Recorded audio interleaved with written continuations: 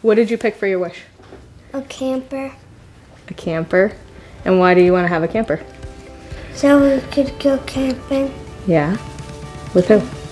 My brother and sister, that's why I got a bunk, chose a bunk bed. They asked us like if there was any place we wanted to go as a family, if there's anything we thought he would like. Rob and I had decided that this was his wish. Like, yes, there were places that we would love to be able to take him, but this was going to be something that was his choice because of all that he sacrificed and all he's gone through with his medical journey. And at that point, that's when he was like, Well, I want a camper. And we hadn't even discussed it as a family. He said he wanted a chance to be able to go on vacation with his family and he wouldn't have to worry about getting sick because he could be outside and he could take his cousins and his brothers and sisters. Yeah, that's why he wanted a bunk bed. Hi, it's AJ from Chaz and AJ in the morning on PLR and 95.9 The Fox. Anthony from Milford uh, has a make-a-wish. His make-a-wish is he wants to have a trailer for him and his family to keep to uh, go camping with. He feels safest when he's camping with his family. So Make-A-Wish wants to buy him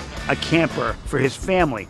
And actually, what we're going to be doing is, it's actually kind of fun, is Captain America will be walking around Milford, and uh, you guys make your donations. We're going to get a trailer for Anthony's family, and we're going to make his wish happen.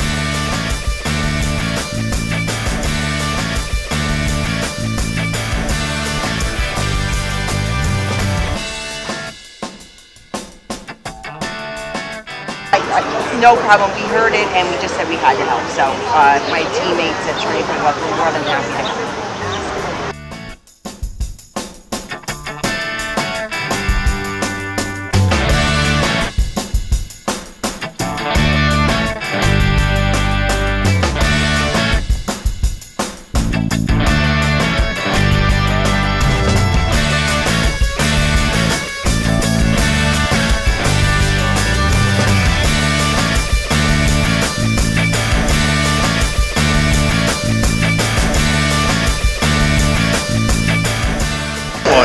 Anthony Munoz, Make-A-Wish in the city of Milford.